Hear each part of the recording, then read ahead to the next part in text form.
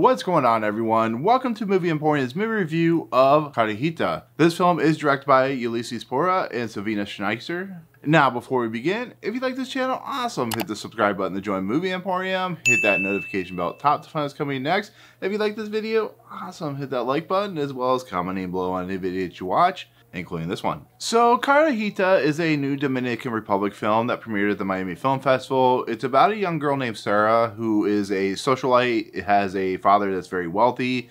Uh, she has basically befriended this young, this older woman named Yara, who is a maid.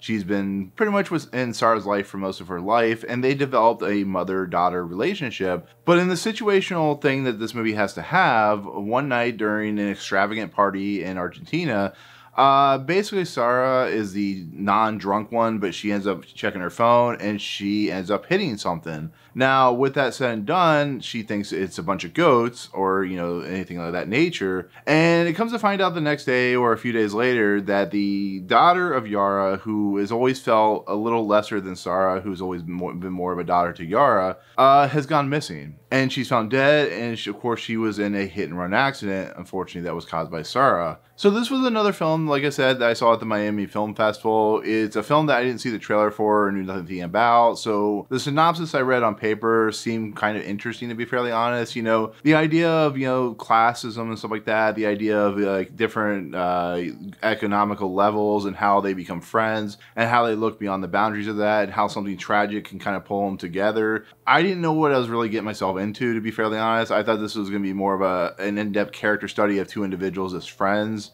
And so after watching this movie, after taking it all in, kind of realizing what I was watching, I will first say I can take a depressing movie. I can handle it. I can watch it usually I know what I'm getting myself into when I go to watch a movie. When I read the synopsis of this and I actually watched the movie, I knew that there was going to be some hard hitting moments in the movie, from some sad moments, but I didn't know it was going to be almost unforgivable what some of these characters do in this movie and some how they act and how they respond to the whole situation of the car accident and the hit and run and it became so depressing and dour and just uncomfortable that I almost don't know if I enjoyed this movie to be fairly honest. I thought, you know, Magnolia Nunez, who plays Yara, is absolutely incredible in this movie, but just some of the things that are being presented and some of the things that are being put on screen, it's a very beautiful movie. It has very gorgeous landscapes but just the concepts and ideas are just something that you literally have to either take a shower or you have to like watch something happy and glorious and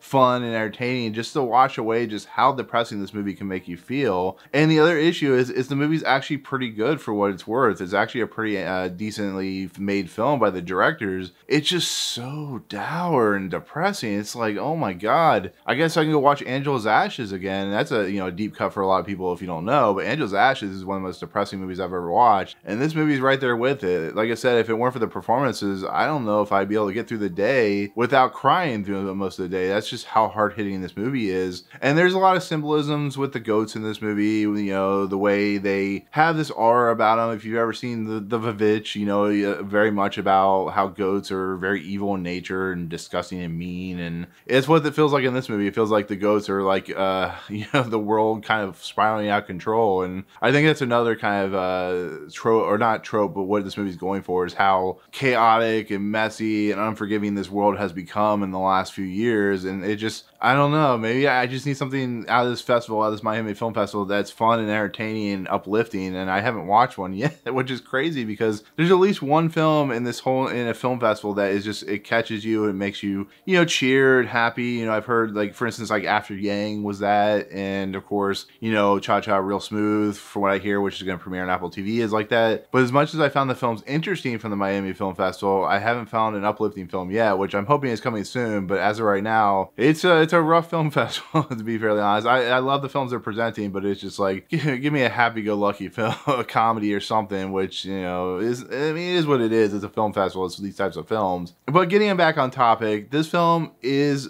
well acted. It has a lot of dimensional work to it. It has a lot of, you know, what would you do in the situation type of situations. Uh, but it's just a very dour, de- depressing, dark film and really goes to places that may be a little unforgivable for some characters. So overall, definitely if you want to, you know, attempt to watch this movie and check it out, definitely worth a watch. Uh, but no, go, go in knowing that it might not make you happy after watching it. So, but with that said, that is my take on Carajita. Thank you so much for watching. Uh, comments below if you've seen this movie. Let me know what you think. Uh, are you willing to watch this movie now and then I've told you about it? Let me know in the comments. But otherwise, if you like what you see in this uh, video, hit the subscribe button to join Movie Emporium. Hit that notification bell at the top to find out what's coming next. If you like this video, awesome. Hit that like button. And as always, we'll see you guys on the next video.